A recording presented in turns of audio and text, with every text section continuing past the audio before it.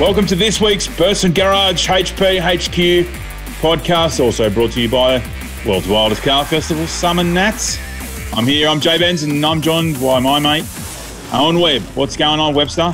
How are you, mate? I'm really good. How are you? I'm very good, mate. I'm building up very, uh, very much so for Rocky Nats, doing all sorts of crazy stuff, you know, uh, behind the scenes with Jack, our producer, planning, doing lots of plans for content and cool stuff that we're going to do at the event. It's going to be great. I'm so looking forward to Rocky Nats. Yeah, me too. It, it, it, yeah, I've been obviously doing a lot of stuff behind yeah. the scenes, looking at entrance and getting yeah. stuff organised for Unveil. So, yeah. Uh, yeah, really, really exciting. So, can't Absolutely. wait. As a country, as a country, we're in a really good position with, uh, you know, let's just call it what is the pandemic. So, obviously, running an event it's going to be brilliant. You know, um, we can get all our friends in the in the one spot and party and hang out. Yeah, I can't wait. I can't wait. Today's a uh, sorry. Tonight's a today tonight makes no difference. Whenever you're watching, we just enjoy that you're on. We've got Paul Sant. Paul's one of the obviously greatest car people we've got in the country. Tell us a bit about that, Webbs. Yeah, look, he's a great guy, Paul. He's been around. Um, we'll go into it. There, he started. I've known him for probably over 20 years now. Built some great cars. Just unbelievable amount of cars in that yeah. in that period of time. And he's probably had more unveils than anybody. Is between him and Gareth Davies, they've definitely had over 10 each in yeah. unveil cars. So that's pretty amazing. And uh, he's just moved to a really big new shop, which we'll just, this is a bit of a teaser, have him on the podcast, and then we're actually going to do a full interview in his shop, which will be up online in the next week or so. Yeah, awesome. We'll, there is. I was just about to say, a little birdie told me there's a feature coming on on the tour of Paul's workshop, so that should be great. Yeah, well, I don't reckon we could have fitted it all in in the podcast. It's just so much, yeah. so we thought we'd go out and because he at any time he's got between ten and fifteen cars on the build, yeah, all the time, full fabrication, and he just builds some killer tough cars with killer engines. Yeah, absolutely, absolutely. We've also got Trent Nikolic on, who's the managing editor of Car Advice. Now, obviously, Trent does all things to do with giving us, supplying Australian public with news and reviews on cars that are you know, obviously coming out and it's such a. a I've dabbled in that career before, and it's such a you got to stay on your toes all the time because the news is constantly changing. You know, yeah. one minute Holden's alive, and the next minute they just press release yeah. Holden's closed, and you you know these these journalists do a terrific job of de- delivering the news. Sometimes staying up till all hours in the morning because the news comes from all over the world. Really looking forward to a chat with Trent. You've known Trent for a long time. Yeah, and the beauty of the like obviously this is a, a sort of a custom car podcast at some yeah. of that, but Trent yeah. is a real is a real true car guy. He had modified cars back in the day when I first knew him, probably 20, 25 years ago, and so he's he's got that uh, the DNA of the whole car he's, thing in He's one of us. Yeah, absolutely. And what he's doing now is it's really important as well. And I yeah. actually can't wait to ask him where he sees the future of the industry and, uh, and about the pricing of, uh, of the modified cars now. So yeah, can't wait to chat. Awesome. Also, another person who's heavily involved in car content is Matthew Everingham. We have him on. He's yeah. going to talk about all. He works currently does a lot of work for Speedhunters, so a lot of people know about that. But we want to talk to Matt about what it's like to capture. You know, he's a photographer, obviously one of the best car photographers in the country, and yeah, he, he just takes some amazing photos. Let's let's you know, we really want to just talk to him about what it's like to take a great photo, what you need to do, what you need to think about, and uh, some of the cool things he's done in you know in his travels taking photos. So, and yeah. one of the jobs he does is take photos at Summernats for for publications, you know, at different years. So interesting to yeah. get his take. Don't will. Forget. Looking forward, to, looking forward to having a chat with Matt. Absolutely, he's a funny guy too, so that'll be, that'll be really good. Don't forget, Burson Garage is doing a seventy thousand dollar big brand giveaway. If you register at bursongarage.com.au, you can get on there and you could win the seventy thousand dollar big brand giveaway. What do you reckon about that, Webby?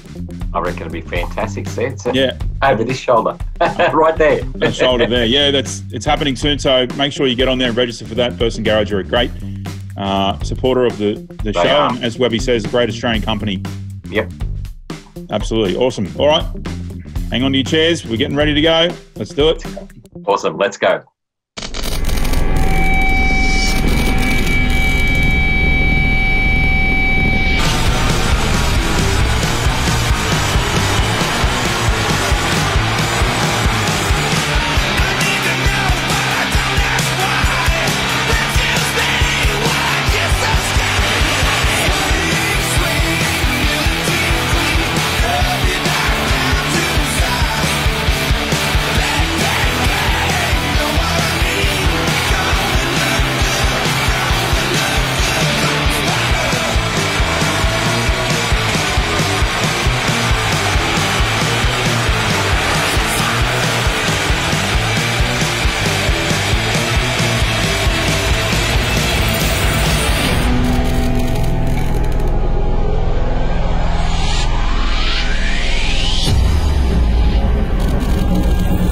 Burson Auto Parts are the best people in the business with over 190 stores Australia wide and over 850 delivery vehicles to get the parts you need to you.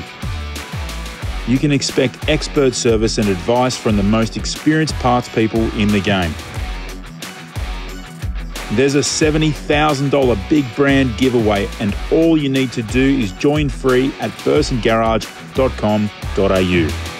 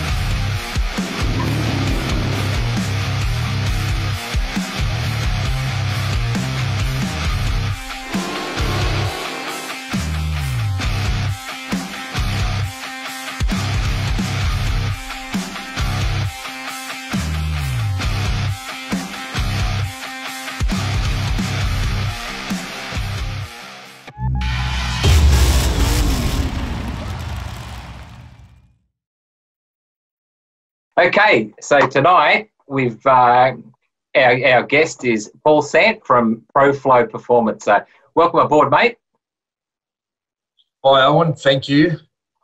Um, now, look, just for people that um, don't know, I mean, I think most of the people would know you. You've been building quite a few cars for, or a lot of cars for quite a few years. So the first thing I really want to ask yep. you is, when did you first get in, or how did you get into into the whole car scene?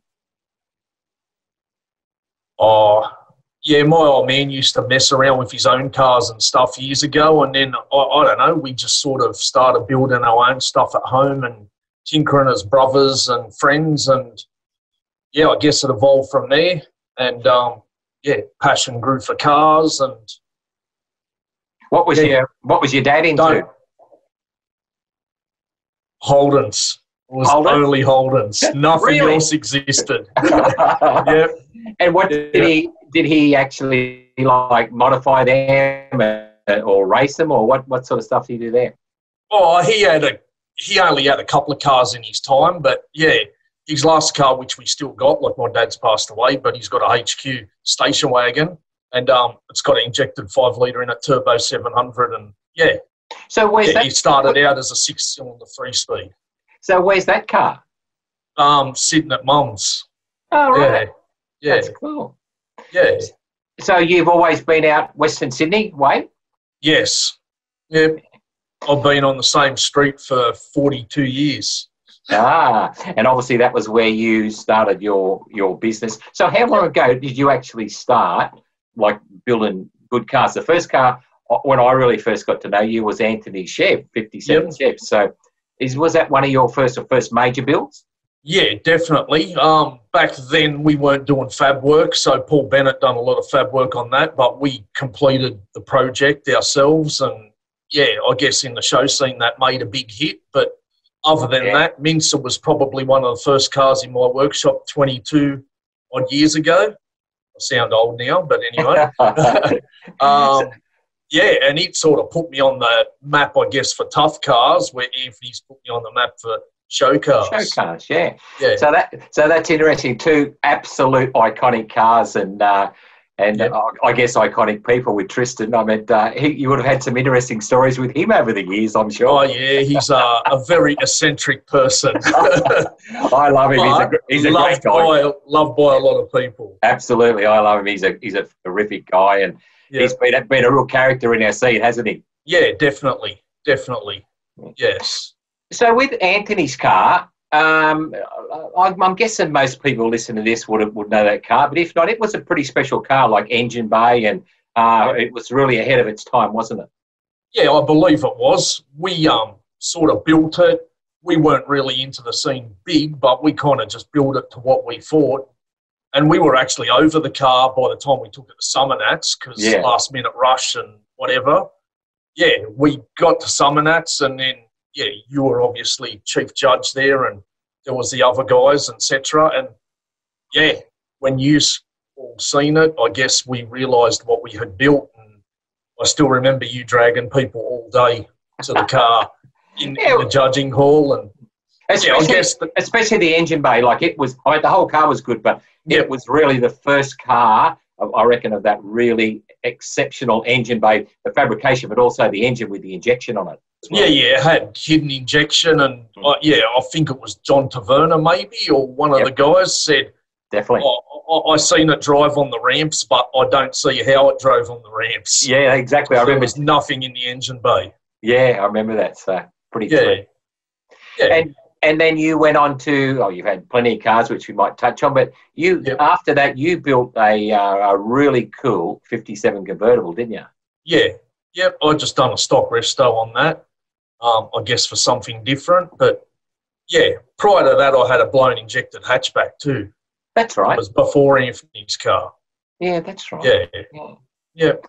And um, you, what's some of the standout cars to you that you've uh, like? You've had that many, I know, but I'm sure, I'm sure you've had a, probably a couple of cars you've really liked or enjoyed the build. What cars have you really liked?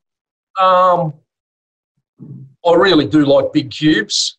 That was the XY yeah. with the Hemi in it, only yeah. because I guess it's a perfect Ford because it hasn't got a Ford in it. Sorry, Owen. but it's just a, a high horsepower car that's a usable car. Like I love show cars and stuff, but I love guys using what we build, like so mm. they're not just trophies. Mm, absolutely. Yeah. I mean, you know, I'm, i was just thinking this afternoon about some of your cars, like Sam Caruana's car, like yep.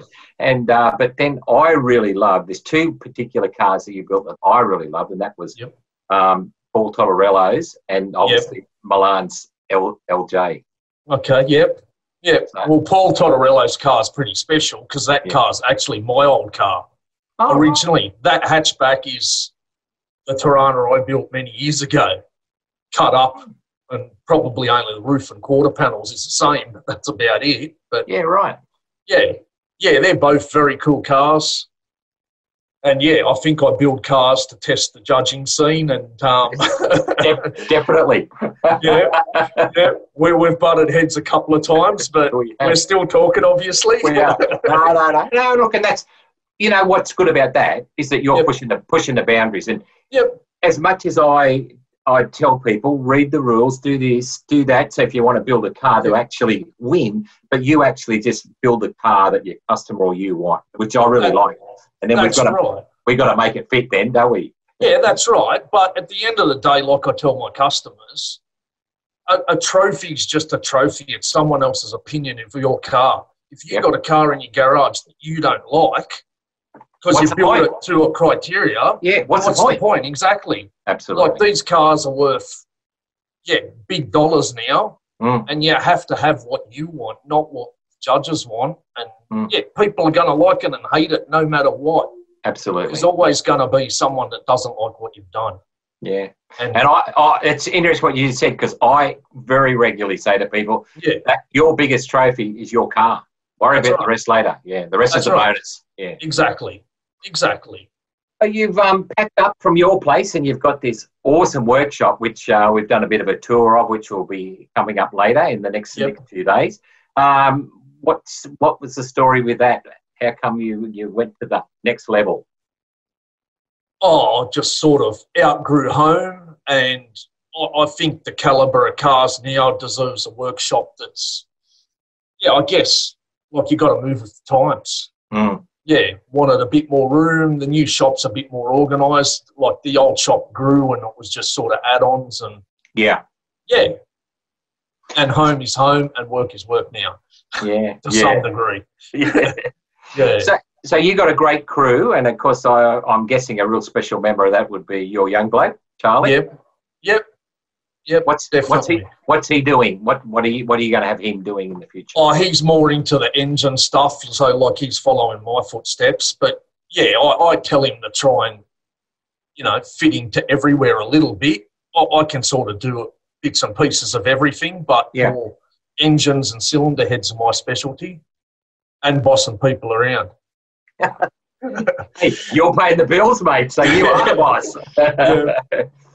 So, um, what's what's coming up in the future? Have you got? I mean, obviously, you're going to. You could see your business is so good. You're booked out for so long, but yep. you you building anything in particular that you want to um, that that'll be really special in the future? Yeah, well, there's a bunch of cars coming up, but yeah, we got a 49 Ford coming up, which is pretty cool. There's which should get unveiled towards the end of the year, an XE Falcon that I think is pretty cool. Um, there's also a HJ Holden that's for a female that shouldn't be too bad.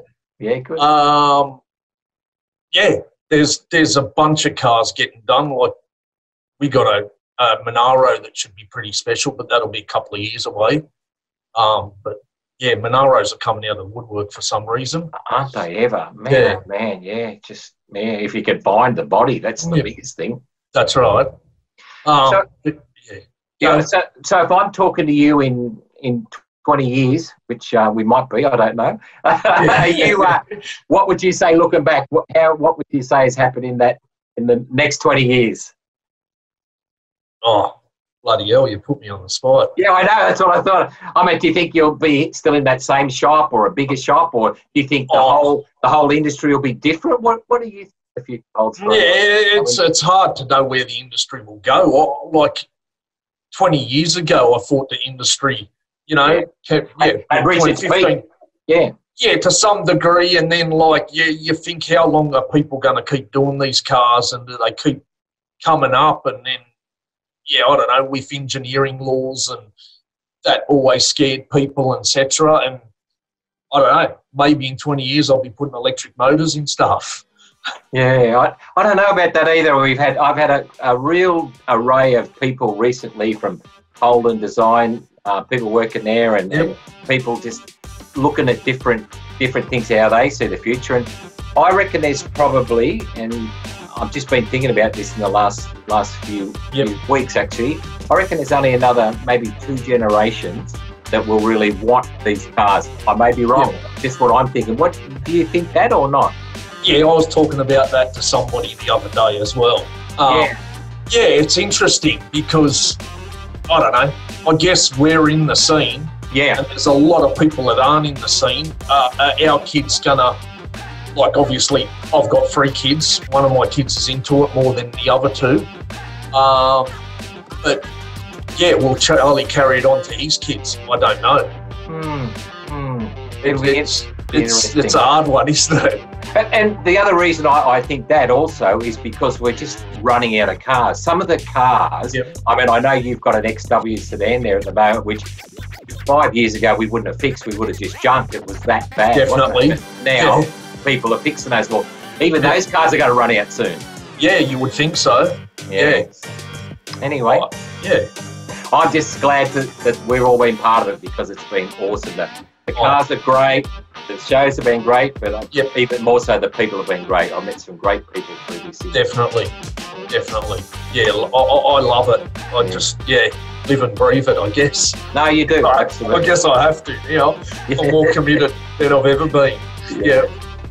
All right, mate. So, look, I thank you for your time tonight, but um, we've done a little bit of a tour of your workshop and looked at some of your cars. So that's another yep. Another uh, video we're going to put up online. So, yeah, you'll have you'll um, after this chat, and in a few days we'll put that up. So, thanks for your awesome. time tonight. No worries. Thank you. All the best. All right, mate. You too. See ya. Thanks, Paul. See ya. Skid ad. This skid ad is brought to you by Street Machine. Oh, yeah. And the cars in the top 10 as well. This man, well, he is here because he won the Summernats Burnout Championship in 2018. Had automatic selection to uh, come into the Burnout Masters field. And then look at the smoke. He is serious. Of course, small block Chevrolet, we see so many big blocks these days. Still retains and runs the uh, small 377 Cuba. Oh no, he's hit the wall again with the right rear. Similar to the last time we saw him in the Masters, but it happened at the other end of the pad yeah. with the other side of the car. Oh, you've got to be kidding. Is that the moment for Tough Street? Was seen earlier out in the year out at uh, Red Centre Nats. And now that foot buried hard up against the uh, the engine bay firewall. Bang. In unison, the rear tyres let go. It was a great skid for Tough Street.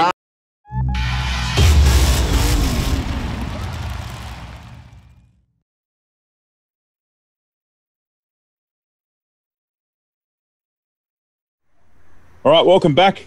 Now, this is a chat I'm really looking forward to have. We've got Matthew Everingham here.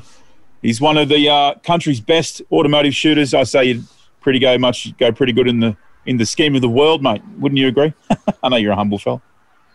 Uh, I don't know, man. I'm too short to make calls like that. Um, I just I just enjoy what I do, I guess. Yeah, yeah, absolutely, mate. I mean, um, just for the viewing style, I've been kicked out of the house. I've been sitting out the back now, so my family running muck inside. So, uh, and obviously you're a dad too, Matt. So it's crazy life, right? Being uh, yeah, working in this game and and finding time to somehow work and make a life of it. Yeah, I'm. Um, you're kicked out and I'm kicked in. I've been locked into the uh, into the office. I've got the doors shut. I've got the chains on the outside. I've got the baby gate shut downstairs. Hopefully, I'm not going to promise that we're going to be uninterrupted, but fingers crossed, man. Yeah. Fingers. So, for those people who might not know, give us a bit of a background on on you know what you're up to these days and and uh, you know who you're shooting for. Also, um, freelance. So um, a lot of my stuff at the moment is for Street Machine, which um, yep. most of the dudes watching this will be fairly familiar with. Um, I do a lot of stuff for Speedhunters as well, which is like an online blog that studies more car culture instead of just cars. Mm-hmm. Um, it's open to pretty much everything, so V8s, little Japanese rockets, crazy Russian sleds, just whatever you want. It's there. It's yep. a cool story. Um, and aside from that, man, I'm just shooting for a few local businesses and stuff like that. Just um, trying to keep things ticking over during this like a weird COVID time. Yeah. But um, you know, I'm still enjoying. I'm enjoying what I'm what I'm doing. So, um, getting to hang out with cars and take pics. That's all you really. That's all I can really ask for. I think if people have spent a bit of time around the street machine scene or uh, any any digital online content, someone somewhere has come across one of your photos. That's for sure. there's you know you're obviously so many events and and you've done so much stuff for a number of publications. A lot of people, you know, would have tripped over your stuff at some point.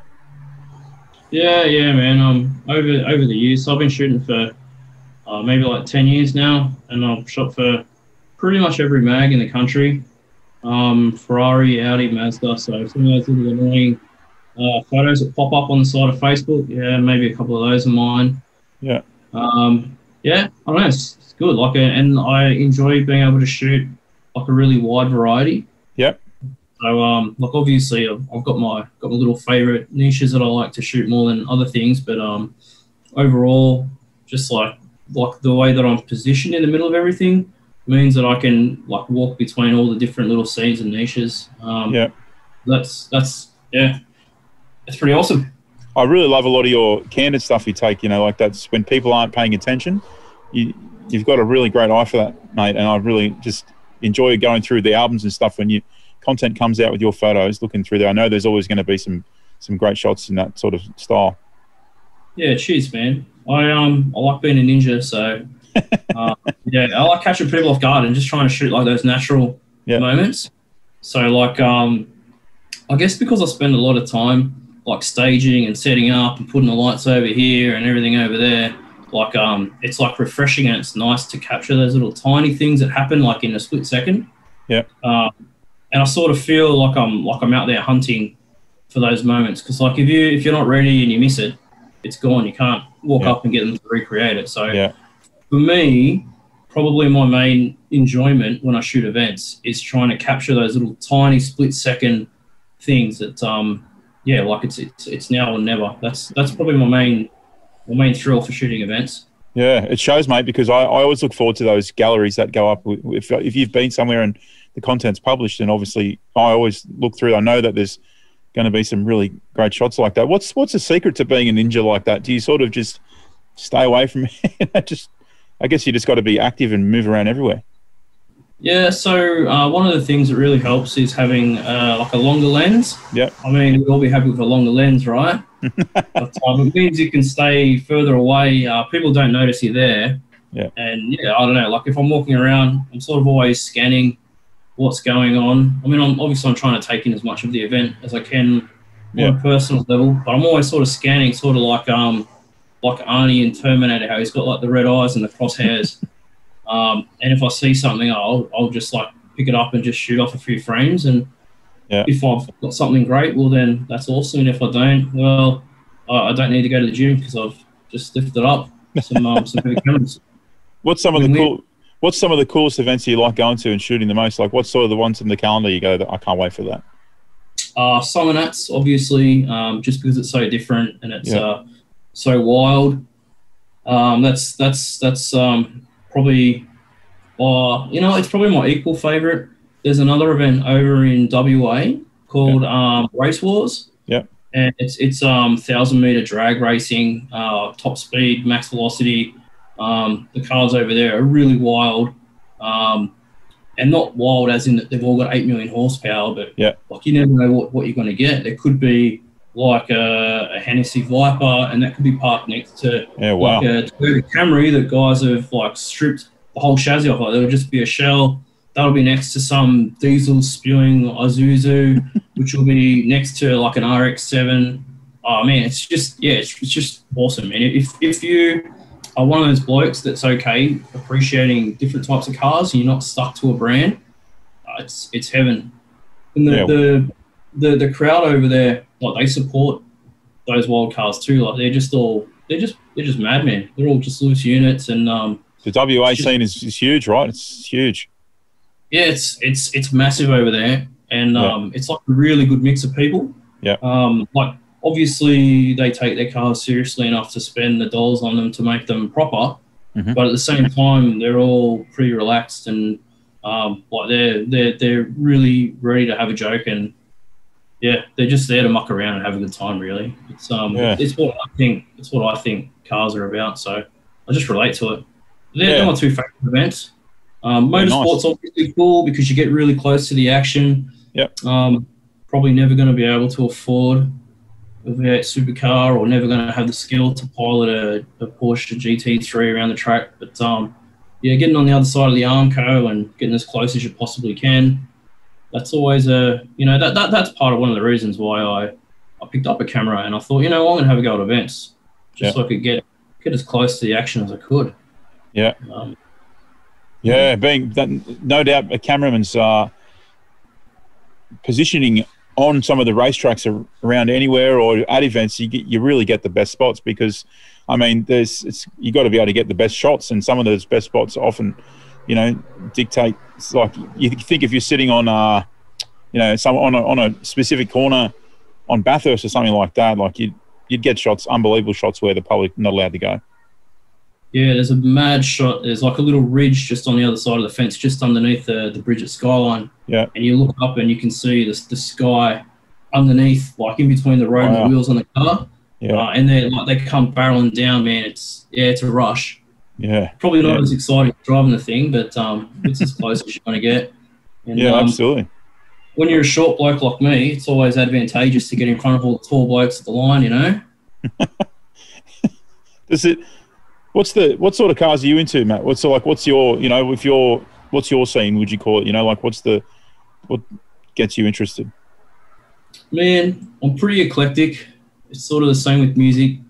Um, like I, I currently drive an Evo 9, Mhm. um, and for the last bunch of years, I've um, I've sort of been sort of more around like little little JDM cars.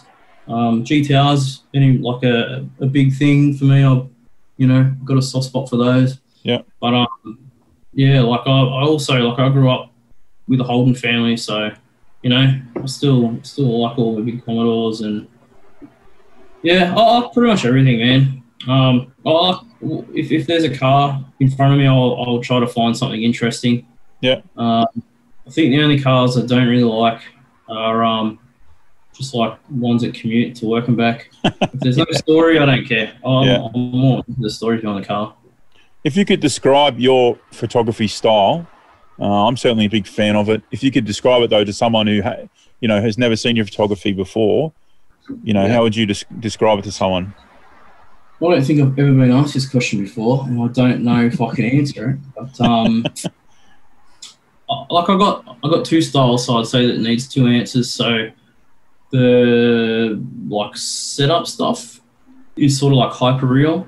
Yeah. So I try to make it look as good as it could possibly be in real life without going too far. Yeah. Um, but you know, even like o- overriding that, I guess for my events and my and even the um, like as long as I don't have a brief, I say it's a bit like it's a bit moody. Like I try to throw a bit more of a feeling into it. Yeah. So yeah, I'd, I'd say maybe I'd say yeah, it's a bit more emotive. Like I try to yeah, I try to try to stick some some feels in there which is a really dumb way to answer your question, but um, no, absolutely. I always, I, I, I, was thinking think a better way to do it. I was thinking even as I was, I was asking the question, what, you know, what, what would I, what do I think is like a, you know, a fan of your work is it's always seemed to me oh, I just got a, I mean, everybody interprets things differently, right? It's it's got a really they got a really warm feeling about them, and it's kind of like a lot going on. Like you can sense what the next moment will be, almost, or what could it yeah. be? You know, kind of like it's it captures like a has an emotion. It's like I really enjoy that that stuff that you do with that. And what's, I mean, let's throw it out there. What's some advice to some young photographers? Because the more photographer, great, you know, people taking great photos around the country, the more cool stuff we see online. You know, what's some yeah, advice yeah. you'd give to a, a young up and coming photographer? Take a million photos. people ask, "How did you get that photo?" It's I took a million shit ones before I took it. Um, and be really critical of yourself like when you take a great photo and, and you know it's great, um, look at it and ask yourself, why is this a good photo? And if you've taken a bunch of other photos and they're all a bit average and a bit crap, well, ask yourself why. Why does this photo suck? Why don't I feel anything? Like, what could I have done differently? Um, that's that's my way of doing it, and that's that's what I did when I first started, and I still do it now. So every time I finish an event or I finish a like a feature for Street Machine or what for whatever the job is. Any anytime I pick up the camera, when I get back to my desk and look through those photos, I ask myself, what have I done right, and what could I have done better? And I yeah. try not to make the same mistake more than once. But I am pretty stupid, so it happens. We're all a bit stupid, mate. that's just the way.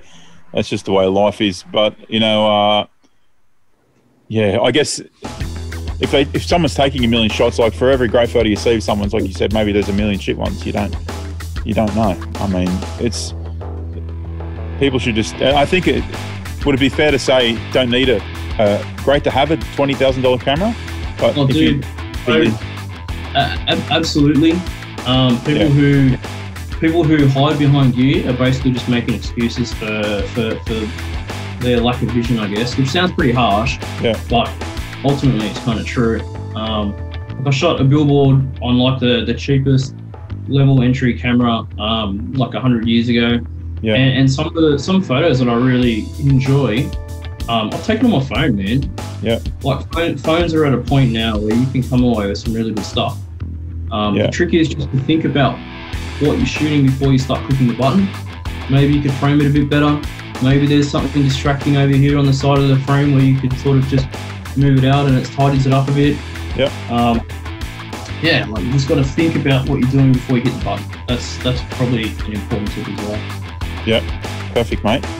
Well, thanks for coming on today. Really appreciate obviously your time and and look forward to seeing more of your work through 2021. No doubt see you at Summernats 34 and maybe some other events on the lead up yeah, to man. that. Yeah, man. Always happy to come out. Thanks yeah, for having mate. me. You're welcome. I like, your, I like your shirt, mate. yeah, mate. Bring it a floody. Just got to support our local talent, you know. Even yeah, if they're um, a bit wild. That's right, mate. It's uh, whether you're a photographer, whether you're a, a, silly bugger online or whatever. It's all just creativity and it's just keeping keeping a you know smile on people's faces. That's the main thing. Man, keeping it fun, keeping it real. That's it, Making mate. cool shit. 100%. All right, man. Thanks, buddy. It's been well, mad. it has been mad, mate. You're one of my favourite people, so it's been great to to have you on as a, you know, as obviously on the podcast and just to have a chat because, uh, yeah, fan of your work and yeah, I look forward to having a beer with you soon, mate. Yeah, mate. Well, cheers to you, and we'll hopefully we'll catch up sooner than later. Absolutely, mate. We'll talk to you soon, okay. mate. Bye, See mate. You, See you, bro. Bye, mate. Mate, the cops are at your house. What's going on? Oh, mate, we've just had a disturbance. Uh, report of a 911 of a 2277. I, I don't know what that is. But um, really, the emergency is I'm, I'm running low on beer. Dad. Anest Iwata. What is that he's saying? Listen, Anest Iwata brings to the Australian market a wide range of equipment for the spraying of liquid coatings. Nice. These may be for automotive uses, both at production and refinish levels. They can even supply equipment for the beauty and film industries where it is possible to spray makeup, airbrush fingernails, body art, and spray on imitation suntans. Because who wouldn't want to have a suntan, right? Yeah, yeah. All right, on the Burson Garage HP HQ podcast, we often get lots of different styles of guests from elite builders in cars to some guys who know how to bang tyres better than anybody else. I'm sure Trent knows how to smash a few tyres and he certainly loves cars. He's the managing editor of Car Advice. And, mate, there's no doubt you've driven some very cool stuff over the years. And we're just saying off air then, but, you know, obviously provide a lot of the news that Australians read and need, need to know often. You know, often it's not just, you know, the, the cool stuff, it's things that happen in the industry and tell us what's happening in life, mate, and tell us what's going on at Car Advice.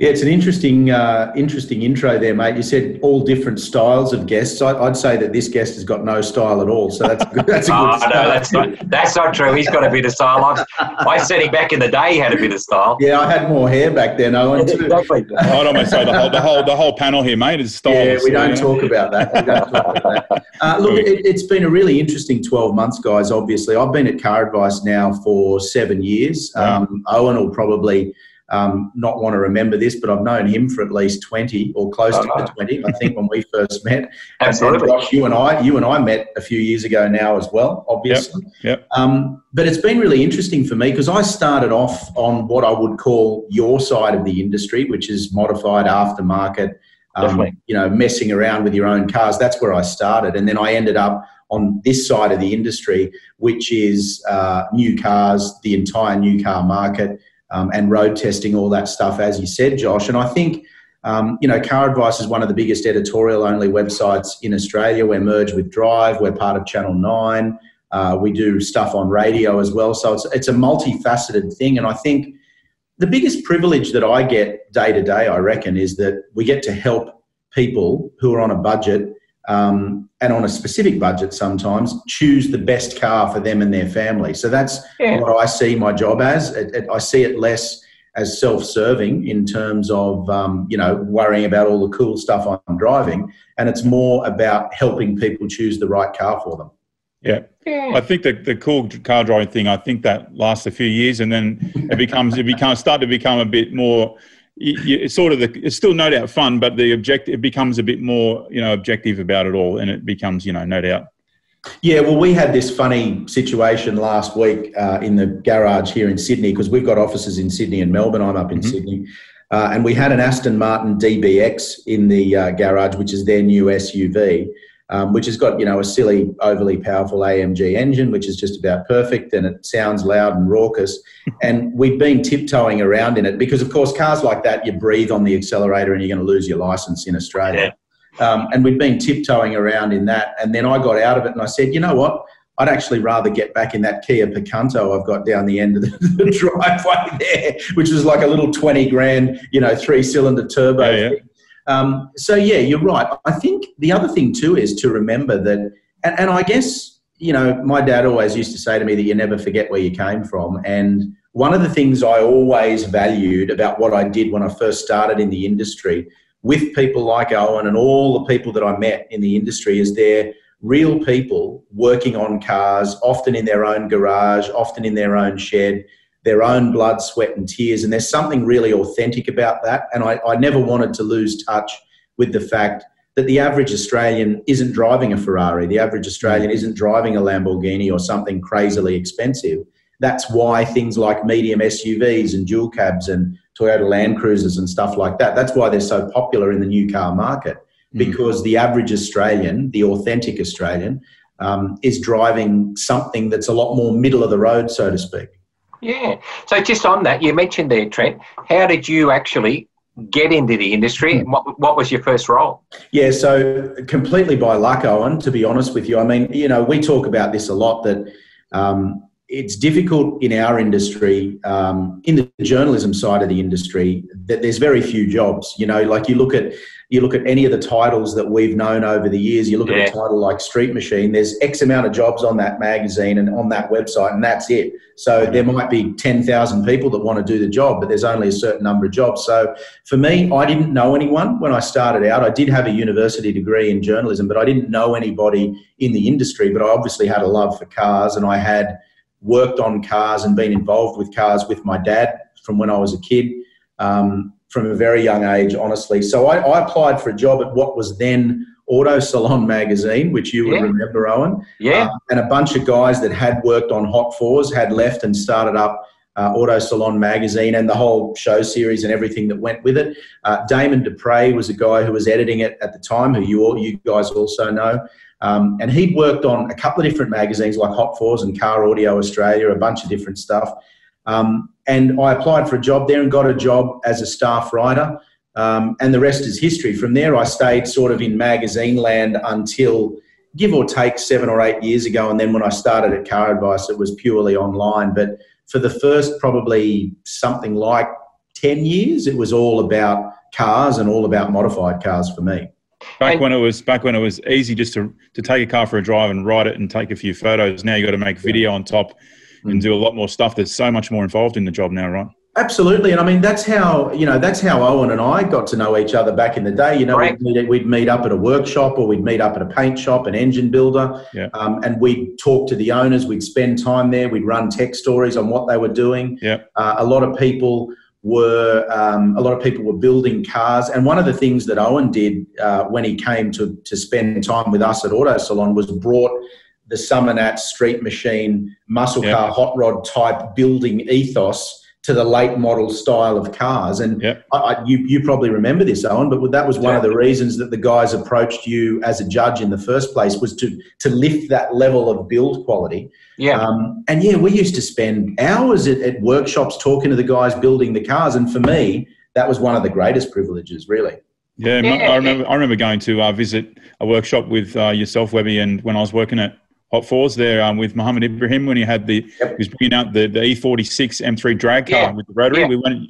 I, I sort of didn't realise back then, but I realise now, being in you know working with you for for you know a couple of years now, that you you probably they want to these guys want to win shows, and sometimes it's often cool to, to you know get a judge's opinion before. Is it you know pretty common? Absolutely, and that mm. that was something that uh, I used to do a fair bit of that with Trent, and and yep. uh, it was interesting looking back at what you were saying there, Trent. I, I sort of it just evolved, I guess. But when you how you how you uh, brought that that message across is exactly how it was. We used to go out and yeah and try and help those guys and guide those guys and build that industry and and that turned it. Cars ended up like Muhammad was building, but also Mark Tarabay. Look, look at that yeah. S15 wow. that they had. That was yeah. just that was as good as any muscle yeah. car, street machine car. So that industry, yeah, definitely, definitely. I was, I was told with, Mark, with Mark's car, I was told uh, if I don't come back from the run of sh- the auto salon shows in 2010 with Mark's car shot ready for the cover of Hot Fours 200, not to come back. Not to there come, you go. yeah, not to come back at all. And and the point Owen makes there, it, it right down, Josh, to you know these guys would ask Owen about paint color. They'd say to Owen, you know, I know what brand of paint I want to use, or I know basically where I want to go, but as a judge with your insight, what colour should I paint this car to get maximum impact? And I think what was really interesting in that part of the that part of the way that scene had developed was, you know, unlike you know, if you're building an XW Falcon and you pull it out of a barn, it's not going to have good paint on it generally. So you hmm. have to paint that car in order to make it a custom car. But Correct. what was really interesting in the early days of Auto Salon was that guys S15, perfect example. You're starting with a brand new S15 that's got really good factory paint. Car might only be six months old. And a lot of the guys were not accustomed to painting the car. So right. even that was just a big change for the guys to think, well, you know, this is another step that I can take to make my car stand out. Yeah, absolutely. That, yeah, that's really good. And hey, Josh, what that's given me an idea is we uh, we should do a podcast on some of that how that industry evolved. And absolutely, absolutely, talk, mate. Talk to some of those guys because uh, yeah. Brian and, and Mark and all those guys. Yeah, yeah, hey, absolutely. But, but, Trent, now I know you you are a car guy and you've had cars. Um, you're you're working on something right at this moment, aren't you? A custom car. Yes, yeah, I got a couple. I got a couple in the works actually, Owen. So I've got. Um, I'm myself at the moment in in got in a million pieces a 1968 Volkswagen Country Buggy, which most of your listeners will be going, "What the hell is that?" Basically, it's a hideous, ugly little thing that looks like it was designed by a four-year-old with a crayon, but it sits on a it sits on a Beetle floor pan, and it's it's effectively the lowest production Volkswagen built by Volkswagen anywhere in the world. So I'm messing around with that. But the big project that um, I'm having done at the moment is my 1966 Chevy C10. Um, that's up with the guys at United Speed Shop, which you and most of your listeners will have heard of. Yep. Um, I've known Ryan for a long time. Back when we did Auto Salon magazine, Ryan used to do all the renderings for all us. the drawings. Yeah, exactly. Yeah, remember that? Um, so I spoke to Ryan on and off, and, and one of the reasons that I it's it's it's actually the weirdest thing because all the cars I've ever owned and modified I've done myself. So I've either done them myself or with my father or with a mate in my own garage in a mate's workshop and you know I'll just go and spend a night or a weekend on it. This is the first time I've ever sort of just handed a car off and said to someone else, "Can you build it for me?" But the reason I did it was because um, I've not ever really messed around with a properly late model fuel injected engine. Um, so my truck's going to have an LS3, 6L80E, um, and a whole bunch of modern hardware underneath it. And the other thing I wanted to do, Owen, was I wanted to convert to right hand drive. So yeah. um, the guys are doing that as well. And it was just something that I thought I'm going to need it built to a certain standard to meet all the engineering expectations anyway. Um, United Speed Shop do this kind of work with their eyes closed. They've built a couple, as you know, like that. Um, so yeah, that's that's at the point now where I think the chassis is about ready to be powder coated and sort of start building it back up again.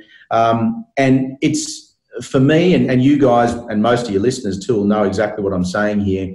This particular build, the way that it's being done, especially with the late model running gear, is something I've always wanted to do, and I've yeah. never really quite done it. You know, I had a before the truck, I had a 65 Buick Riviera that had been converted to right hand drive back in the 60s. And, and I loved that car, but it just had the old nail head, it had the old automatic transmission, had the old steering, the old suspension. And as beautiful as it was, yeah. it just wasn't that enjoyable to drive. To, to drive, yeah, exactly. Yeah. Exactly. And I've always wanted to, I've always wanted to really modernize um, an old vehicle with aircon and power steering and all that stuff. So, you know, I just said to Ryan, you guys know what you're doing, go for your life, basically. That's awesome. I love C10s. Yeah. After spending a lot of time too, in the yeah. US, I just love that model. So, are you patina in it or painting it? What are you yeah, doing? Well, this this will be sort of like uh, nails on a chalkboard for you, Owen, because of how much you know and love about paint. But yeah, I I before the before the current crop of cars I've had, I had a uh, a '62 single cab split screen Kombi Volkswagen Ute, and it was the first vehicle I'd ever owned that didn't have nice paint. And what we did was we just sort of restored the old paint on it and put some old sign writing and stuff on it. And it was the most liberating experience I've ever had in my life. I used to wash it once a year. Yeah.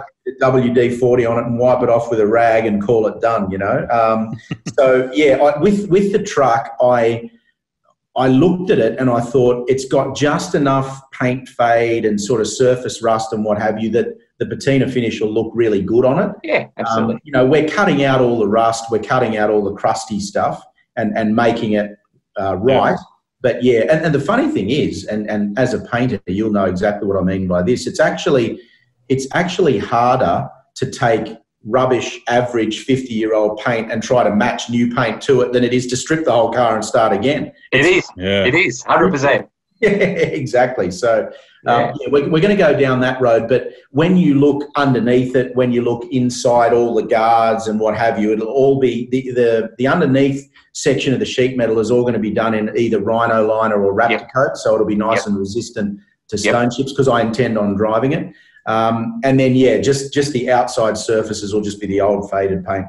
That's absolutely awesome, mate. I can't wait to see it. But, yeah. Uh, there's yeah. two, two other things I want to run by you um, because of what you're doing. It's obviously, I want to touch on the, the future of, yeah. where you say the future of the industry, car industry in general, but also um, the price of cars at the moment, like um, modified cars. Mm is uh, oh, it's outrageous, isn't it? Like that. E hates it just sold for ninety two thousand. The yeah. Falcon it went for one over a million. So, what's your thoughts cry. on all that? I could yeah. cry. I'm telling yeah, you, completely out of control. It's funny. If I didn't like you guys, I'd hang up. I don't like talking about this because it hurts. no, I'm just interested in, in, your take on it, on Trent. Yeah. yeah, it's it's really it's it's really interesting. I'll answer the second question first, Owen. Um, it my first car was an EH Holden. It was a factory ordered Premier manual. So the Premier's wow. all auto, but it was all auto, yeah. And it had it had a bunch of Ks on it, and I got my Ps uh, in 1993. So it was almost a 30 year old car, right? And my dad and I went halves in it, um, and I drove the car around. I think I had it nearly 10 years actually, and it was I don't know. I my dad paid four and a half grand for it, and I sold it for seven or something. You know, ten years later. But but the value of these old cars has just exploded, and I've had a bunch of mates, as you'd expect, saying I'm thinking of selling my pick whatever car it might be, and I've said to them, look, if you really can sell it without feeling like you then want to jump off a cliff for having made the wrong decision. Um, if you're actually happy to get rid of your old car, now is the time to do it because yeah. the, the value of them is going through the roof. What I do speculate about, and we talk about this a lot at the office, there, there's only, though, a very certain type of person that looks at a Falcon for a million bucks or a and it could be a phase three, it could be, you know, one of the last Commodores, a last HSV or whatever. There's only a very specific type of person that looks at that car and sees that sort of value in it. And I wonder whether you know, in 20 years' time, does a kid that's 15 now or a 10 year old kid now look at a car like that and see that value in it? Or because they've come into a world that's full mm. of hybrids and plug in hybrids and electric vehicles, do, do they not even care? That's, that's exactly yeah. why I asked you that question because I talked to a, a couple of people and I actually think where there's only probably another one or two generations that, right. that where that that value, that see that value. Otherwise, I, I think I think if like it's enlisted say, from, like, say, my kids will probably have that bug, you know. But yeah. it's not really from that background. They won't be able to just latch onto it as a side passion thing because well, the thing is, they'll be to, like, well, to Owen's point, Josh, we're, we're, we're sort of moving further away. Like, if my my mum used to drive me to primary school in an XWGT Falcon, which my yeah. dad had bought, and it was effectively the family car. So let's right. call yeah. it 1981, give or take, right? Yeah. So, you know, at that point, you're driving an 11 or 12 year old car, somewhere around that. Yeah. Um, for me, I've got really strong memories of that car, and, and probably it's the one of the reasons I'm into cars as much as I am. Now, if I get to the point where I've got the money to afford an XWGT Falcon, especially if it's reef green with a saddle interior, I'm, I'm likely to want to buy that car because yeah. I remember it as a kid. Now yeah. I'll probably get in it once and go, "What have I done?" You know, like the, the memory, the memories of what it was like and what it's like to drive now are completely different. But you remember the smell and everything. All yeah, absolutely. The smell of the vinyl, the, the way that it felt to sit in the seat, the, you know, that how noisy and obnoxious the engine was, all that stuff. Um, yeah. And I think that so how that's high you were from the petrol fumes in the back seat. That's it. But I'm in my mid 40s now, right? So yeah. you know, I, I, don't know. Does does a does a twenty? You know, if a we've seen it with Japanese cars. So now the, the value of things like 200 SXs and WRXs and Evo Lancers and stuff's Crazy. gone through the roof. Probably because that next generation under us, so the kids that are mm. 20, they remember that when they were kids, I guess. Yeah. Yeah. Yeah, it's upsetting because I mean, I the, that car for me when I was a kid was a VB SLE, uh, mm-hmm. dark silver with red velour trim and a pop sunroof, and that's what I was driven around from a baby till about '89. And then my dad sold it for don't even want to say how much and swapped it for a Nissan Pulsar G N13 or something. What a piece of shit. But anyway, um, compared to that, anyway, uh, it, it is it is sad, and I I never really thought about it like that until you said that, Trent. That maybe it's high now because the people who are maybe getting to that stage where maybe they've got a bit of money and that was the mm. car what they wanted when they're a kid. Correct. You really have to. Well, you almost need to have a house in Point Piper to afford a VL Commodore these days. You know, yeah, like absolutely, absolutely. and the other thing too, I think, and, and Owen, this would be the case with older stuff as well. You know, the amount of people that have said to my dad over the years, "Why'd you get rid of the XW?" For example. Yeah. yeah.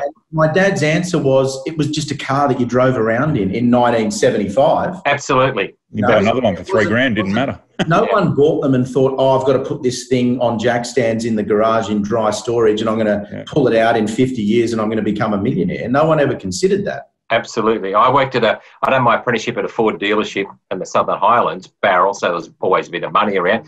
And we used to sell probably a GT every couple of months. Yep. And that, they were for people to pull boats, horse yep. floats, whatever. That's yep. why they bought them. Yeah. exactly. I'm sure they weren't like even money style back then. They were probably expensive to a certain degree. Yeah, up to five grand, four and a half, five grand. But, yeah. And then, well, how much was the salary back then? You reckon for like a yeah, probably worker? ten or eleven thousand a year or something. Yeah. Okay, Correct. so really attainable. So like a yeah. be like yeah. buying a thirty grand car now, I guess, something yeah. like that, or yeah. Yeah, interesting. It's so it, it is. It's interesting where that's where that's all going. But uh, so, what do you actually see as sort of the future of the industry now that there's no car industry here, Trent, in Australia? What are you seeing? So I think one of the things that I think is really sad is that we've lost a lot of that engineering now. So I think you know it's it's it's one thing to say we don't build cars here anymore, and I, I don't like to get too misty eyed about that because some of that is the reality of the modern market. You know, we don't build televisions here. We don't build tennis rackets. We don't build Nike yeah. shoes. You know, there's a whole bunch of things we don't build. Unfortunately, cars are now on that list. I remember once my dad and I were going to a suspension shop on Parramatta Road, somewhere around Granville, it would have been, um, thereabouts. And my dad grew up in Fairfield in the western suburbs, Owen. And I think one of the reasons I'm as passionate about this stuff as I am is because my my mum was born in Australia, but my dad was born in Italy, and he was the first generation that came here from his family and went, "Hang on, we can afford a car, and we can afford a really cool car, mm, and mm. they could actually set themselves free." So I remember my dad telling me that when he was a kid, you could start at one end of Parramatta Road, and, and for listeners who are outside of New South Wales, you know, main arterial road that goes from the suburbs out into the city, you could start at one end of Parramatta Road with an engine block, and by the time you got to the city, you'd have a fully constructed engine because yeah. there was a guy that did camshafts and a guy that did pistons. Correct. Correct. That guy was a machinist and whatever.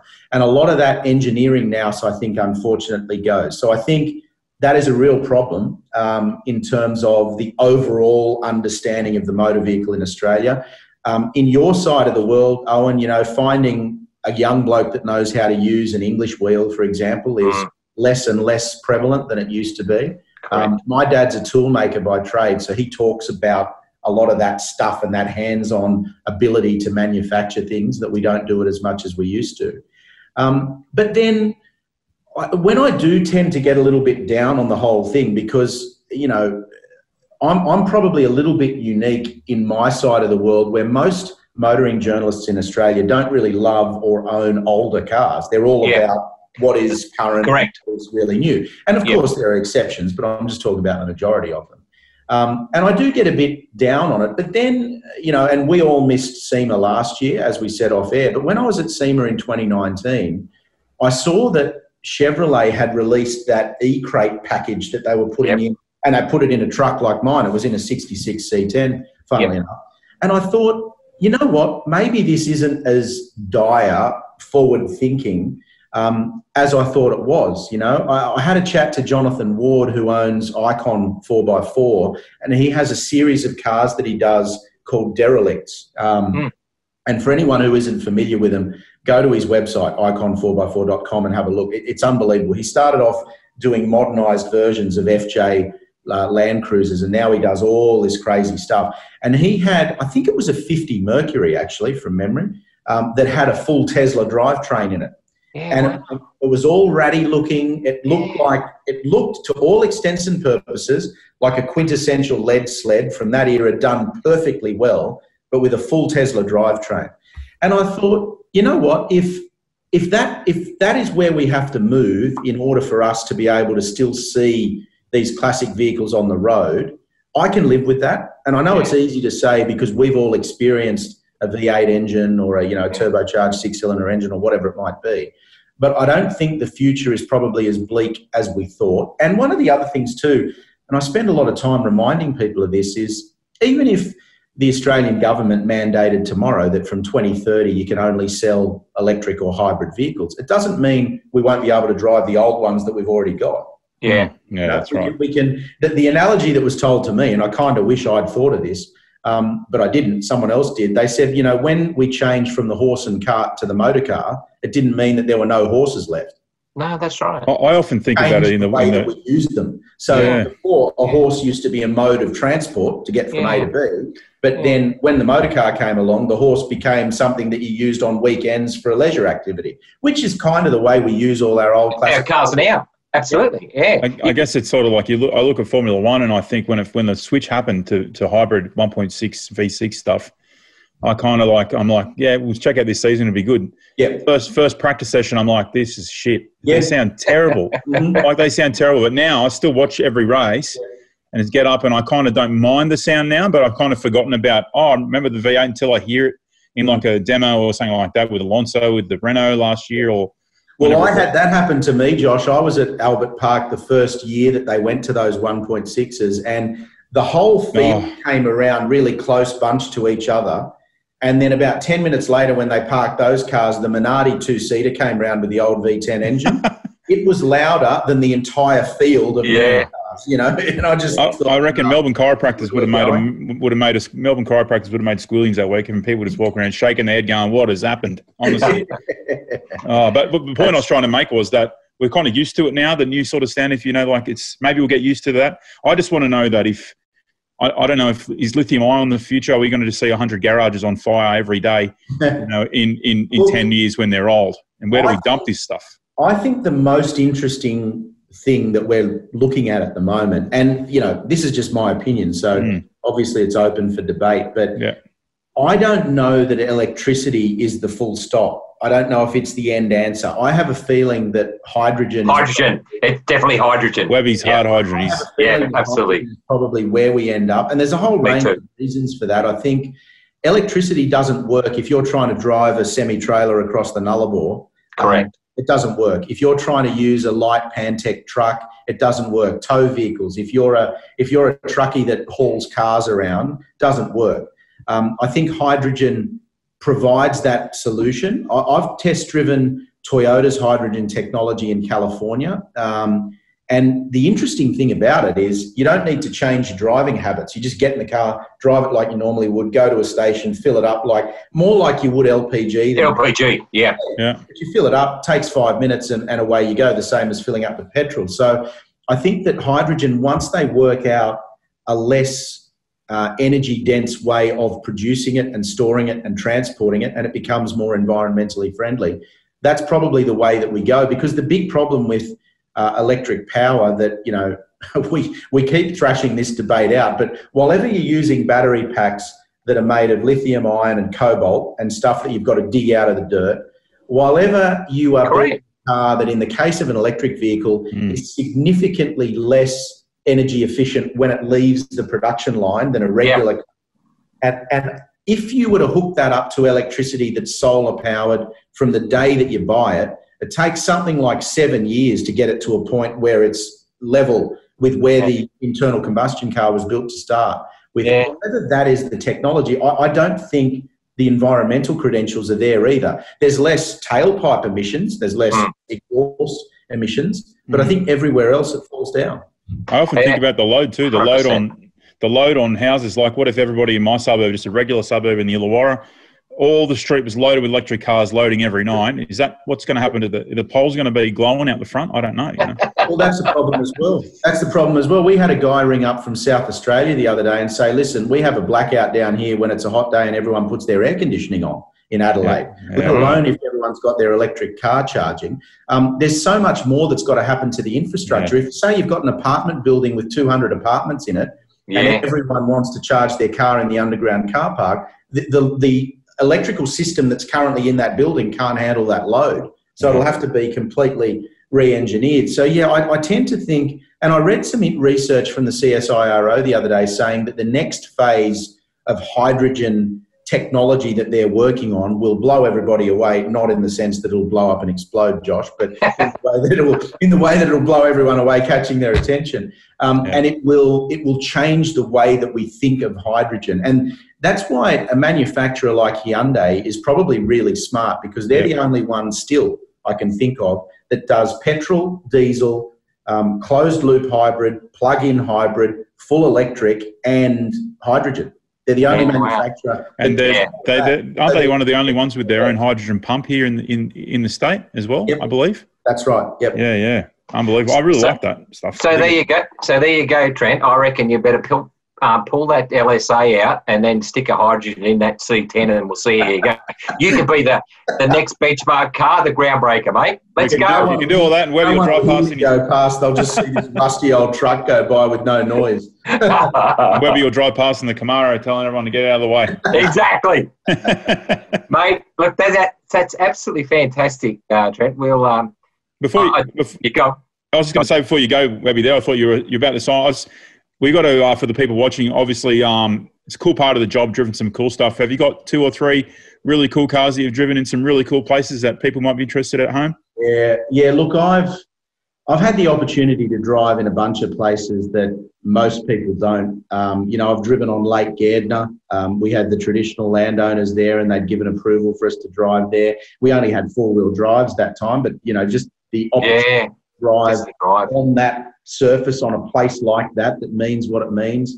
Um, you know, things like driving McLarens at Silverstone or driving, uh, you know, a Lamborghini Aventador SVJ that, you know, goes from zero to 100 in two point something seconds yeah. um, on a racetrack in Europe is amazing. I've, I've done things like driven at Laguna Seca, um, you know, which you, as a kid, you watch races at these circuits and yeah. you know, maybe one day I'll get to see it let alone get to drive on it. Um, and I've driven on so many of the great circuits around the world, Phillip Island included, um, and met some amazing people as well. You know, it's not it's not just about um, yeah.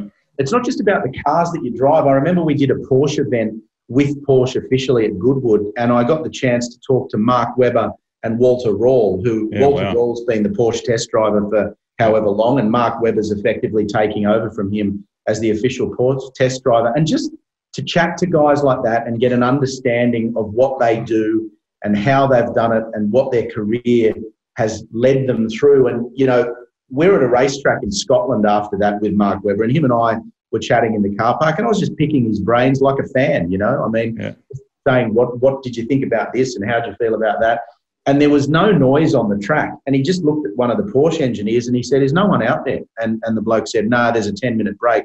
And he looked at me and he said, Do you want to go for a drive? And I said, Mate, if you're driving, yeah, 100%. yeah. He looked, the, he looked, at one of the engineers and he said, Do you mind if we, he pointed at a Cayman GT4, I think, and said, Do you mind if I take that out on the track? And the engineer looked at him as if to say, You're Mark Webber. What the hell are you asking me for my permission for? So we jumped in and I got to do four laps in the passenger seat with a Formula One driver wringing the Porsche's neck, yeah, which just you know, it's the stuff of pretty dreams. cool. You know, I, yeah. I come back and I tell my dad these stories, or I tell my mum these stories, and I just say, you know, would you ever think that a kid from the suburbs that you know just read car magazines instead of studying would would, would end up with that sort of opportunity? And it's been an unbelievable privilege. Yeah, what a crazy, what a crazy mate. I no doubt you'll do plenty of great things in the industry.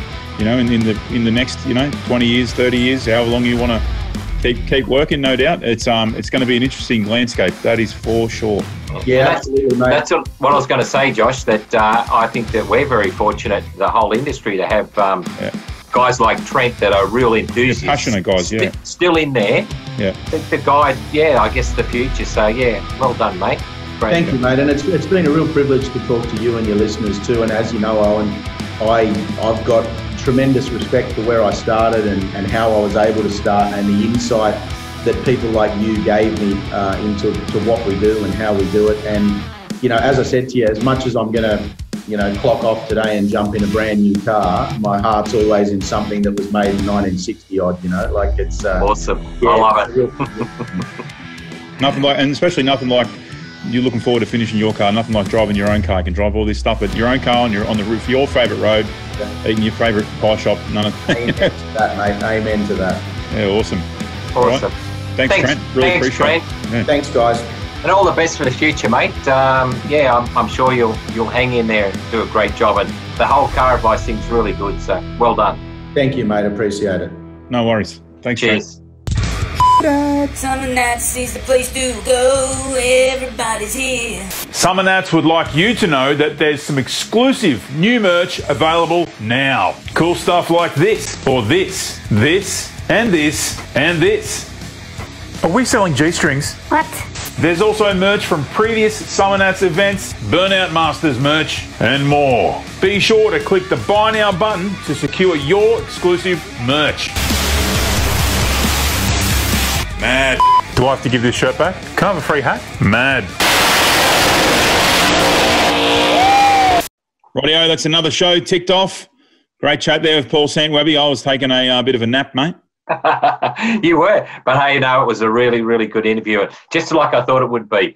He's, uh, we, we, I was really interested to find out his first major car, and I thought it was his brother's 57, and yeah, it was. And what a great car that was! Just an awesome 57 Chevy. And he's still building cars. I don't think he's actually built his best car yet, so can't wait wow. to see what he brings down in the future. That's a big call. Yeah, right. Yeah. yeah no doubt. If he does build something, you know, the the best one will I don't know. He's just got some cool stuff coming out of there. And like you said earlier, um, so many unveils and yeah, you know, it's awesome. Good chat with good chat with uh, Trent. Yeah, I, I knew that'd be good because, like I said in the beginning, there he's just a real car guy. But it was really interesting to just get his take on where he sees the industry. And mm. look, I, I think for definitely in our times there'll be still modified cars, but yeah, see where it all ends up, eh? I hope so, mate, because you know this is what we live and breathe. Will we be seeing modified? Will we be, you know, doing burnouts in Teslas in thirty years at some of that? Who knows? I, I certainly won't be. it, and one thing I was going to touch on there with Trent, it's interesting. I was I saw an article through the week mm. that Tesla, the Tesla company, is actually worth more money than mm. all the other car companies in, in yeah, the US same. put together. It's actually worth more money, like the General Motors, Ford. Yeah isn't that just crazy? It's crazy, mate. But I really believe, uh, you know, this the, the, hydrogen thing is sort of creeping up. So we could maybe we could maybe see a lot of that. So yep. who, who knows? Also, good chat with Matt. Obviously, he's uh, a photo god. So great to chat with him and give some insight into that side that side of the industry because you know we we spoke to a words guy today and we spoke to you know obviously the two combined in magazine land for you know what was where Trent was no doubt trained from, you know, in the yeah. magazine industry. So two two hardcore magazine guys, but yeah, really, really uh, good yeah. to get that chat through with Matt. Um, awesome, mate. This has been a great. I've loved this this uh, episode. Yeah, had some great episodes, and when you look back, so I'm um, we've only got a couple to go till we get to Rocky. That's uh, bring it on. I'm so pumped Rocky. So I'm literally not like I said last time. I got my bag packed. It's flat packed. like I'm. Let's go. Let's seriously go.